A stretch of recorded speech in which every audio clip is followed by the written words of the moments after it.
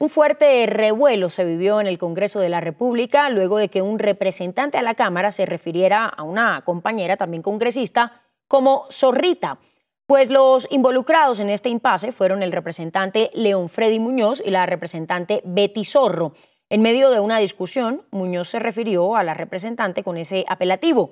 De inmediato la congresista expresó de manera airada su indignación, lo hizo entre lágrimas, manifestando que lo sucedido con el representante Muñoz de la Alianza Verde fue un acto machista. Enseguida, el representante León Freddy Muñoz pidió la palabra para disculparse y manifestar que fue una expresión que, según él, es normal en su región antioqueña, donde utilizan diminutivos.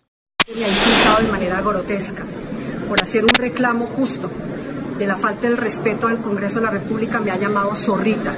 Mi apellido y orgullosamente me siento feliz de llevar, de llevar ese apellido es Zorro. No tenía por qué ofenderme ni por qué tratarme de esa manera, de manera machista y ofensiva.